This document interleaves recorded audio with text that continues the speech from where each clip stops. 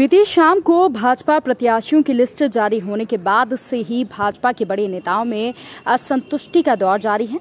Ward ने भाजपा ने ward तेईस से डॉक्टर के के तिवारी को वोट दिया है, जिससे नाराज़ होकर आज भाजपा के मोर्चा के प्रदेश कार्यकारिणी सदस्य संदीप ठाकुर ने निर्दलीय नामांकन जमा किया है।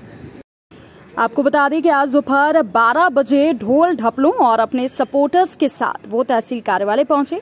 इस दौरान संदीप ठाकुर ने नामांकन जमा करने के बाद पार्टी के प्रति नाराज़गी ज़ाहिर की। उन्होंने कहा कि पार्टी के द्वारा प्रत्याशियों के चयन में गड़बड़ियाँ की गई हैं। पार्टी के कई पदाधिकारी और निष्ठावान कार्यकर्ताओं को टिकट नहीं दिया गया है, जिसमें वार्ड नंबर तेईस में पैराशूट कैंडिडेट्स को टिकट दिया गया है। साथ ही साथ उन्होंने कहा कि इसलिए आज मैंने निर्दलीय नामांकन जमा किया है।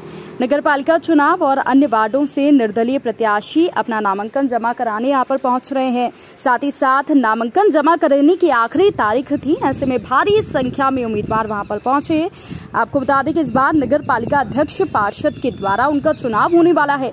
इसलिए दिग्गज नेता पार्षद के रूप में चुनाव लड़ रहे हैं। जनता पार्टी ने जो प्रत्याशी चयन में जो गड़बड़ी करी है और वार्ड नंबर तीन में भारतीय जनता पार्टी के संगठन के पदाधिकारी भी, जैसे मैं भारतीय जनता युवा मोर्चा का प्रदेश कार्यकारिणी सदस्य हूँ।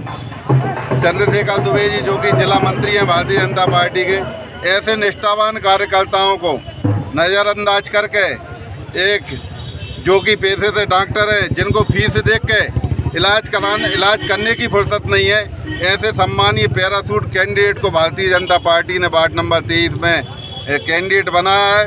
भारतीय जनता पार्टी ने हम जैसे नौजवान कार्यकर्ताओं की स्वाभिमान को ठेस पहुंचाई है। इसलिए मुझे मजबूरन वार्ड के विकास के लिए और वार्ड की तरक्की के लिए और सब लोगों के आशीर्वाद से मैंने फार्म भरा है और मैं चुनाव लड़ूँ